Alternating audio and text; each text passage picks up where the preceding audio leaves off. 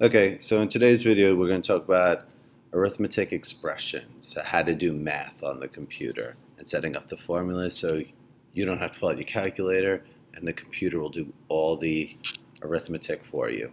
So going into my folder called quarter one, I'm going to go new, new class. Again, I'm repeating myself now, but make sure when you name the class it starts with a capital letter. So arithmetic expressions. Hit finish. It'll create the class here. And now we can start creating the program.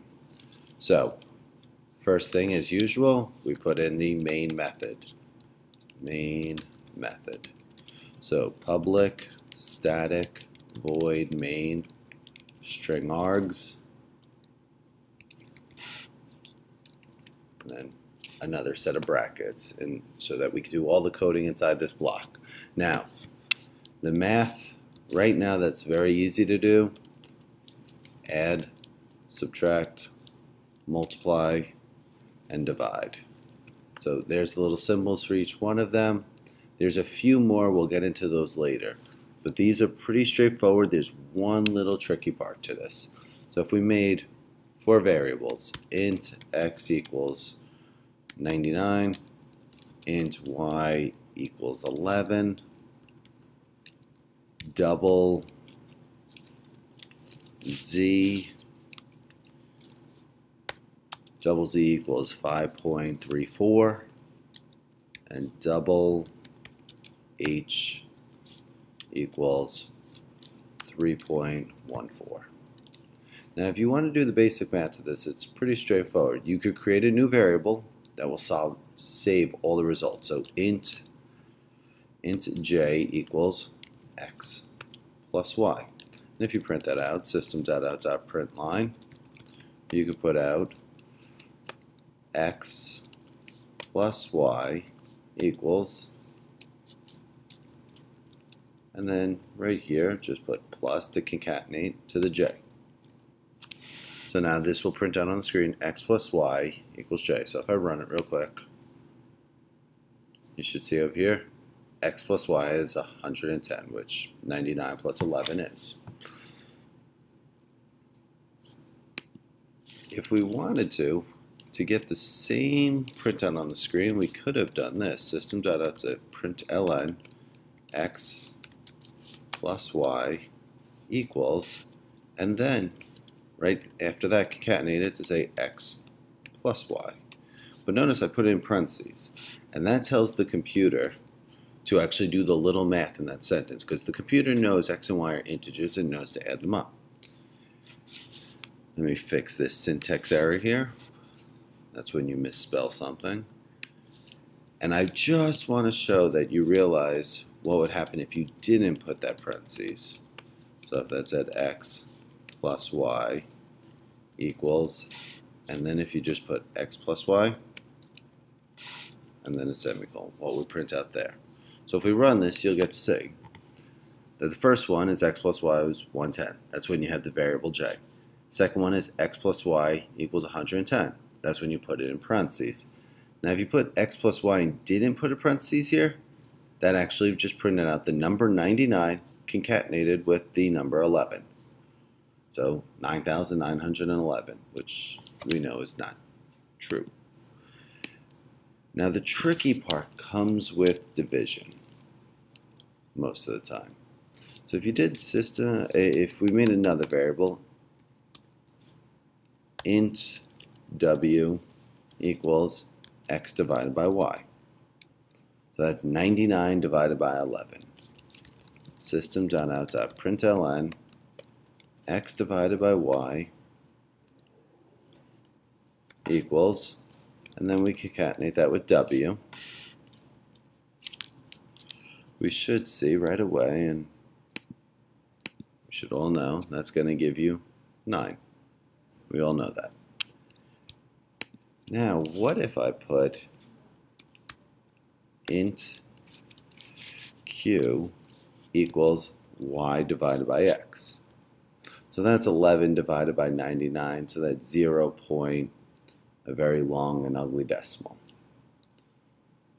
So let's see what the computer prints out.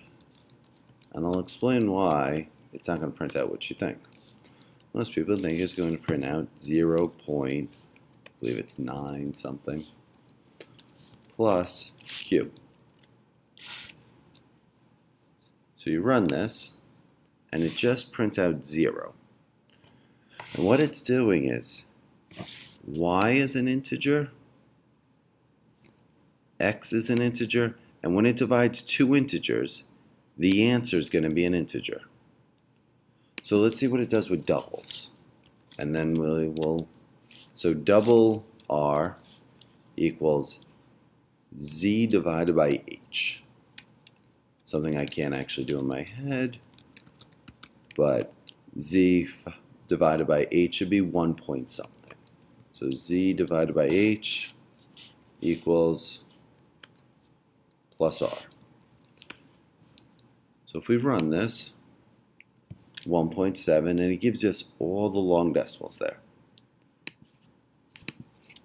So what if I print it out system.out dot println something like, and now I'm going to do it the second version instead of keep making all these variables. What would z divided by x be?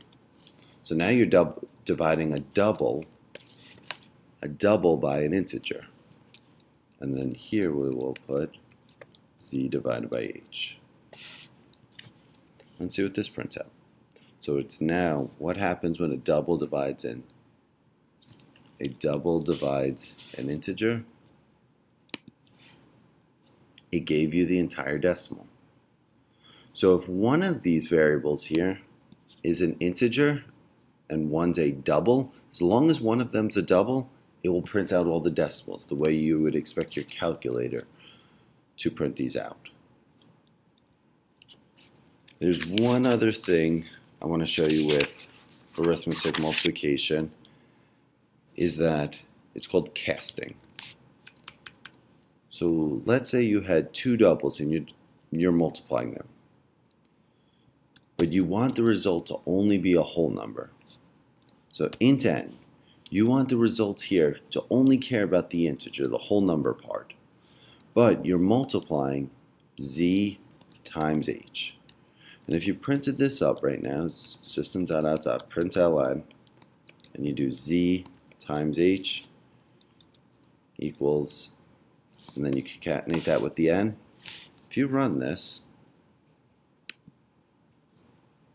oh, the syntax error in there, cancel. I don't want to multiply by 8. Notice it's not even letting me do this. Because right now, this is a double, this is a double. So two doubles multiplied will give you a double. Problem is we want an integer. And what this is called here is called casting. It's turning a double into an integer.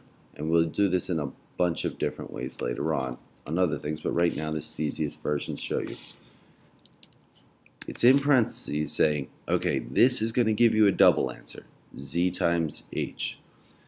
Turn it into an integer. Now it doesn't round. All it does is drop off the decimals. So if you look and we run this now, it turns it into 16. It doesn't give us any of the decimals. 5.34 times 3.14 is 16 point and a whole bunch of decimal, a uh, whole bunch of numbers after that it drops them off and just gives you 16. And that's called casting. And the last bit is order of operations matter. So that means the computer does this in PEMDAS, as most of you know. PEMDAS. Remember, parentheses go first, then exponents, then multiplication, division, addition, and subtraction. I'll show how to do exponents in a future lesson, but right now don't forget that parentheses, multiplication, then division, then addition, then subtraction. That's it today for arithmetic expression.